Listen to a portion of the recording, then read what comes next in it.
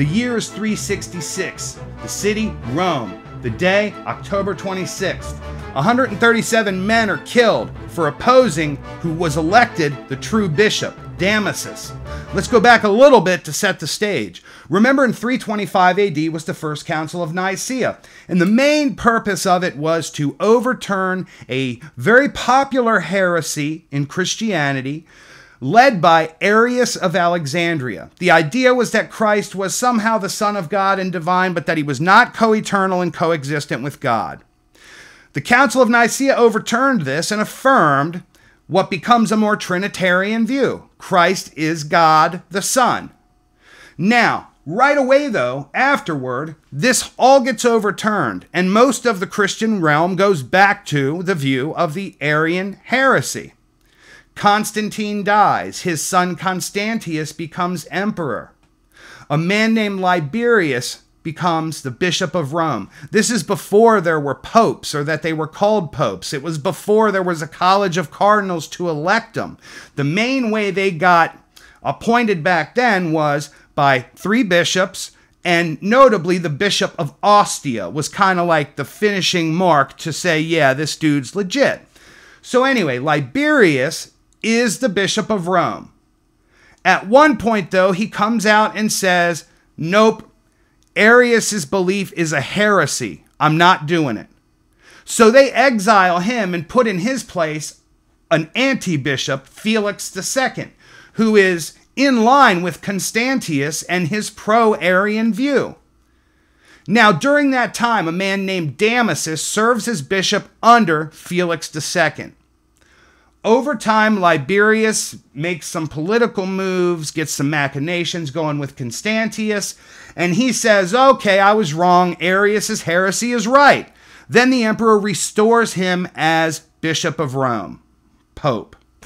Okay, so he dies. Then Damasus is flatly appointed, elected, whatever you want to say. He's the guy who is put in the position of Bishop of Rome in the fair way that it had been done up to that point. But there were some people who were like, no, no, no. We don't want a bishop who served under Felix II, that heretic. We don't want somebody who had that Arian view. So they put up another guy. They, they put up a guy named or, Ursinius, right? Or Ursinia and they did it with arms. They actually elected him with another bishop, the Bishop of Tiber. So now you have two competing claims for the bishopric of Rome, right? Damasus is the legit guy. He's got the church, and he also is able to pull strings with the imperial power, Constantius. So when this guy, Orsina, and his people show up with soldiers to overthrow Damasus, he gets the help of Constantius and the prefect Julius to get Roman soldiers, right? And they surround the supporters of Ursinia or Ursinius in a church and they kill 137 of them on this day in church history. But it doesn't end there, right? Damasus is the legitimate bishop of Rome. But he would continue to be known for this and other things. His enemies would come along and say, oh, and charge him with adultery. So the empire would come along and uh, pardon him, right? Because they knew that the enemies of Damasus, the um, the supporters of uh, Liberius and the haters of Felix II, he knew that they were going to continue to try to undermine Damasus. So What's interesting is Liber Pontificalis doesn't tell us about the murder of Damasus's enemies by Roman soldiers, but it does tell us about his accomplishments. And Damasus was well respected. He put new gravestones over the places where Peter and Paul were uh, alleged to have been buried. He found the places of more Christian saints and put burial places there. He built two basilicas that are still around today.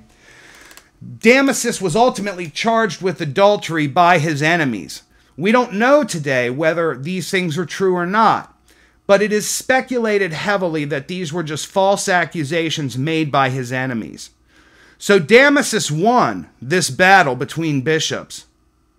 And it's a good thing he did, because like him or not, if Damasus hadn't have won, we might not have gotten the Bible we have today because it was him who went to his boy Jerome and said, "Hey, uh, here's a list of all the books that we currently use as Bible. Please translate, put them together in a, a, lexicon and anthology, and that became the Latin Vulgate. That was the Bible of the Middle Ages.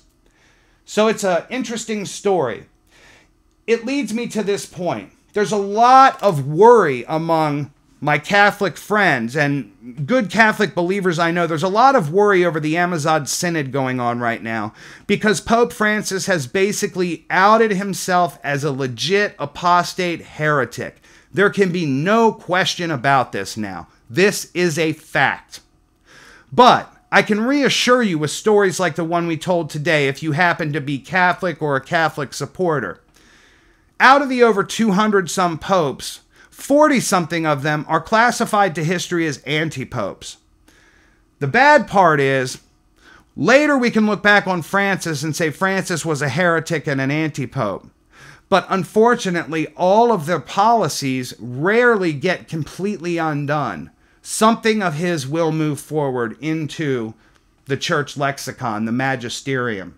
But that should give you a little bit of peace if that's something you're concerned about, and you should be concerned. Even Protestants should be concerned because these synods and councils do end up affecting the evolution of Protestant doctrine as well.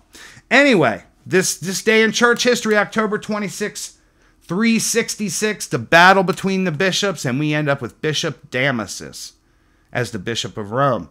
Thank you so much for listening and hanging out with me today. Please go to amazon.com slash author slash Nicholas D. Garrett or Nicholas Garrett and uh, purchase books I've written. You can get anything from the Just Tell Me the Truth About Christianity series. You can also get my book, uh, Shipwrecked in the Land of King Tobacco. I have a separate YouTube channel for that. You can subscribe here and there. You can also go to my Teespring store and check out our variety of colors and sizes for Truth First Christianity shirts. There were Nephilim in the earth in those days, and Truth First Christianity coffee cups. Thank you so much, and have a great weekend.